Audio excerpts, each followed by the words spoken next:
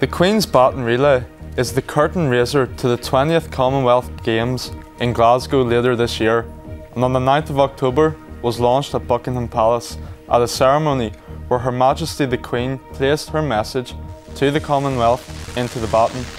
Over a period of 288 days, the baton will visit 70 nations and territories covering 190,000 kilometres and involve a third of the world's population.